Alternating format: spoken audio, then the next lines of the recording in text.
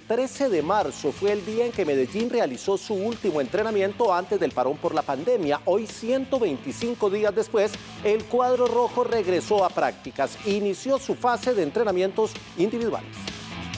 Con exámenes cardiovasculares y pulmonares, Independiente Medellín regresó a su sede deportiva tras recibir el aval por parte de Divayor. Encontramos a la gran mayoría de los jugadores, por no decir todos, en óptimas condiciones desde el punto de vista médico. La adaptación al trabajo de campo con grupos de 10 jugadores será el paso a seguir. Desde el punto de vista de fuerza, desde el punto de vista de propiocepción, desde el punto de vista de todo lo que tiene que ver con movimientos articulares, de freno, de arranque, eh, de trabajos excéntricos para lógicamente mejorar esos niveles de fuerza. Falta el permiso por parte de la gobernación para iniciar entrenamientos ante el estado de cuidado total decretado para este fin de semana. Ya tenemos listo y organizado todo el microciclo de trabajo que va no solamente lo que falta esta semana, sino también la próxima semana. Ya todo eso está coordinado con el cuerpo técnico. Finalmente los rojos dieron el parte de tranquilidad ante los tres casos positivos, todos asintomáticos, quienes evolucionan favorablemente.